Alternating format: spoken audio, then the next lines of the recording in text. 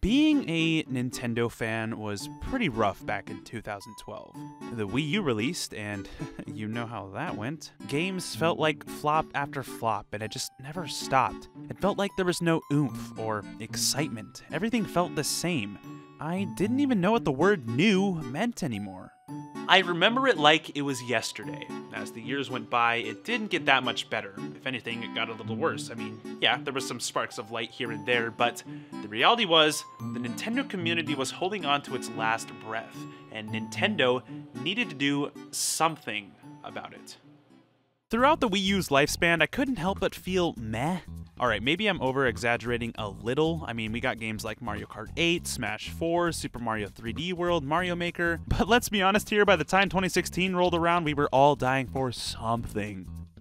Star Fox Zero released that year. It was time for a change. And boy, did Nintendo do just that. In October of 2016, the company finally unveiled their new big project, the Switch. The system looked slick, a brand new Zelda was launching with it, and everything looked great. It seemed as though Nintendo was making a turn for the better. But it wasn't until January of 2017 where things got a little interesting. Nintendo shared more details on their new upcoming console, showcased a couple new games, and then it happened.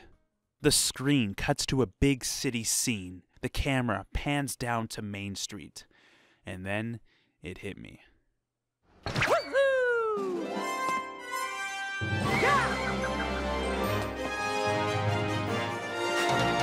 I was shocked. This moment was insane. I mean, Mario was walking amongst real people. I'm, I'm sure you can guess how I and many others reacted to all of this.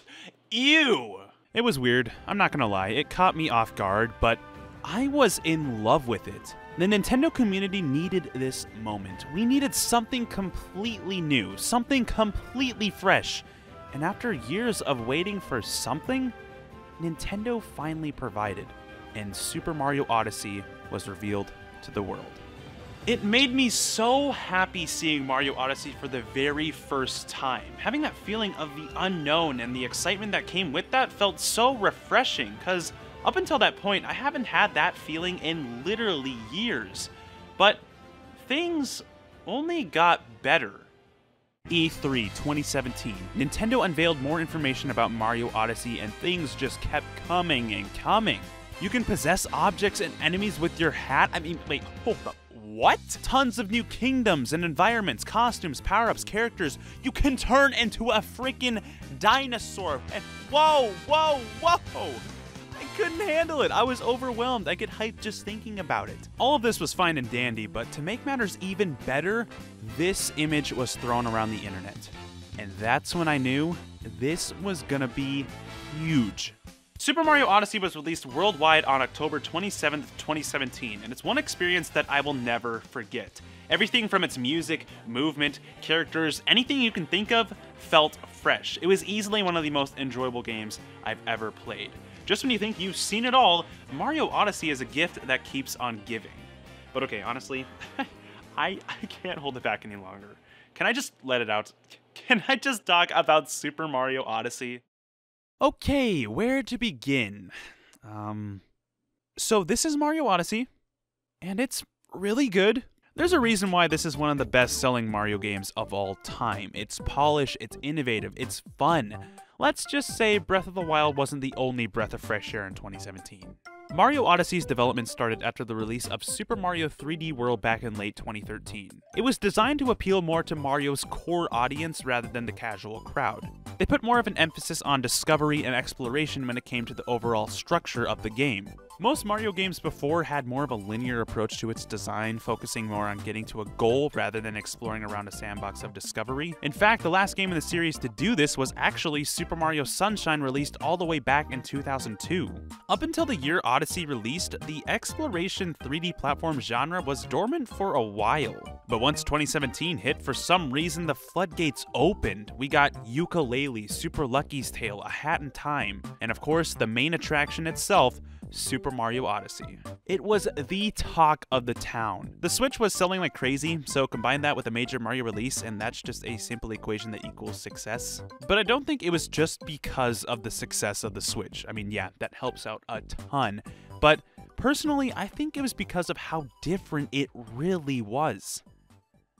You can be a freaking dinosaur. If I'm being honest, Mario was feeling a bit stale up until this point. Just felt kinda same old, same old. Super Mario 3D World was the previous mainline game, and it was a fun romp at the time, but to me, nothing really stood out. Don't get me wrong, I think it's a fine game with great level design, but it didn't really feel like it had a lasting impact like most 3D Marios. And Wii U sales could have been the reason for that, but if you look back, aside from a small number of things, it wasn't all too crazy.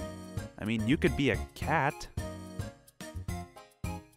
But with Mario Odyssey, this game sticks out like a sore thumb. Boom, boom, boom, boom, boom, boom, boom. Odyssey manages to create so many distinct experiences throughout the whole journey, it becomes incredibly hard to forget anything. There were never before seen characters, enemies, mechanics, and kingdoms with hundreds of things to come across at your own pace. You weren't just playing Odyssey, you were experiencing it. With Odyssey's unique mechanics, you weren't just fighting tanks, you were being tanks. You weren't just killing Goombas, you were being Goombas. You weren't just walking on manholes because you were stinking being manholes.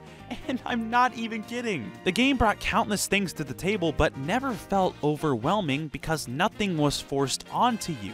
Everything came with discovery, which makes these certain experiences that much more unforgettable.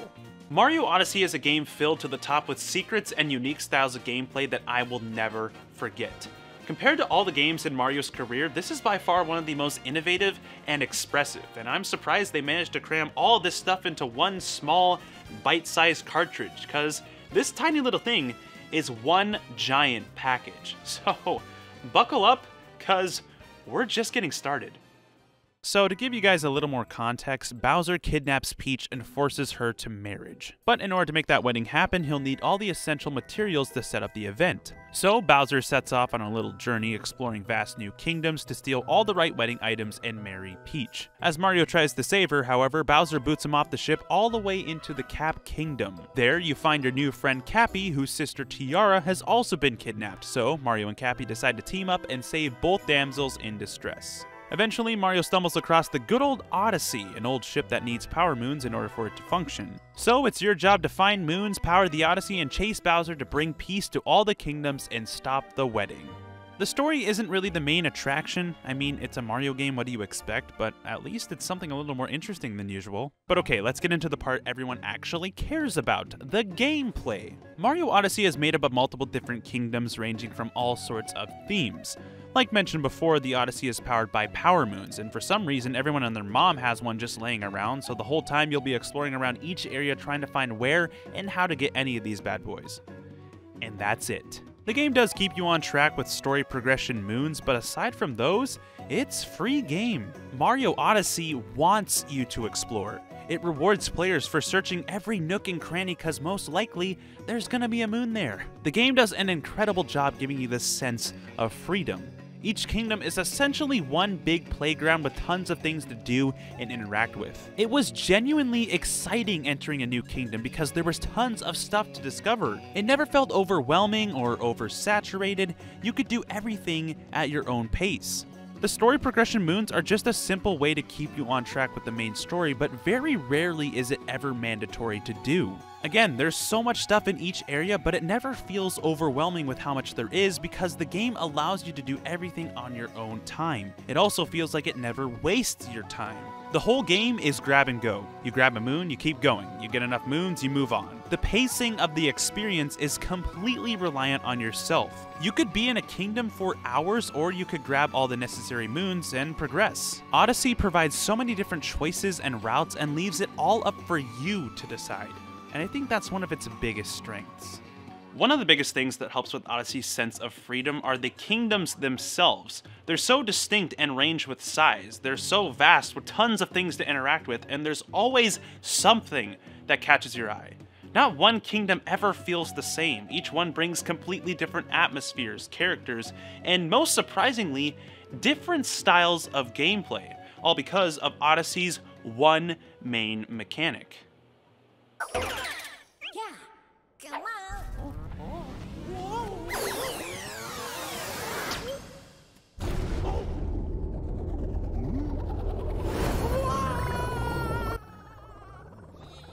This is a Mario game. The capture mechanic, one of the most bizarre things you'll ever see in a Mario game. When I first saw this, I didn't really know how to react. It was definitely different, but looking back now, I wouldn't want it any other way. This single mechanic is what makes Odyssey, well, Odyssey. For the most part, whatever you throw your hat at, you become.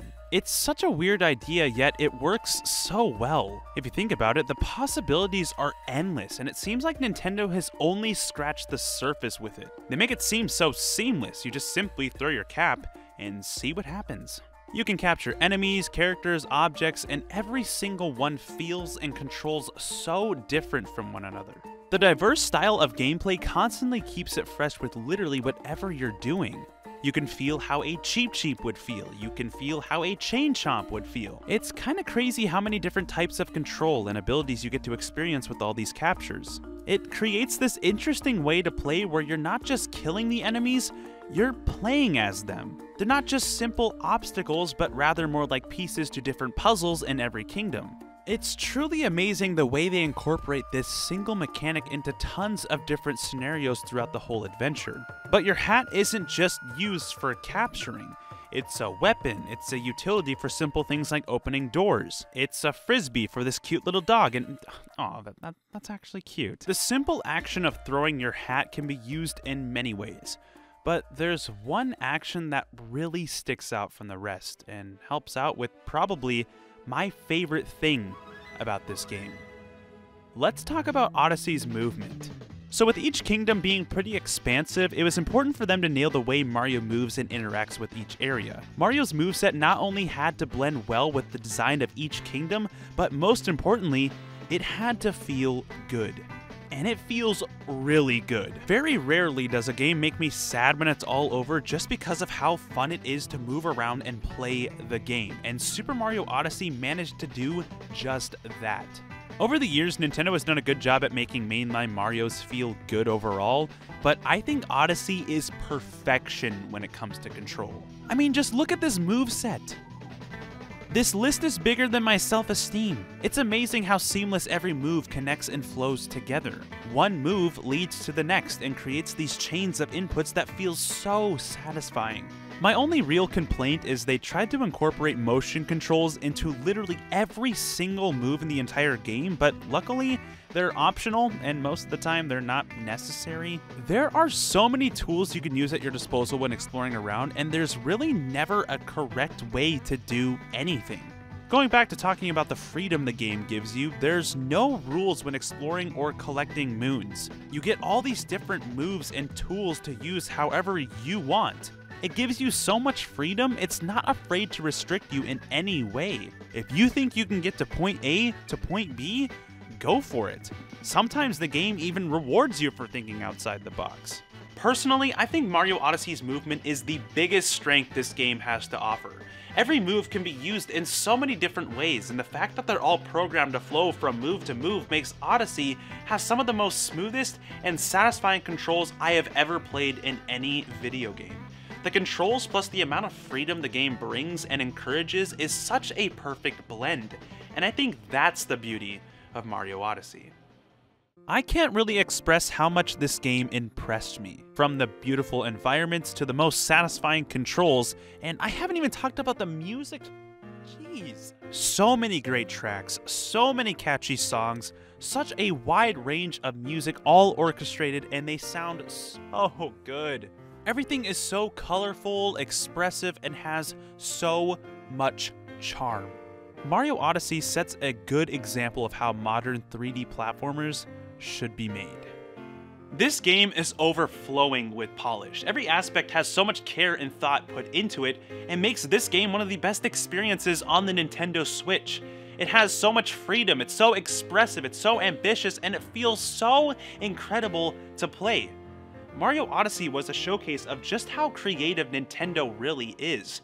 It wasn't just some brand new game, it brought life back into the company, and to me, it was truly a breath of fresh air.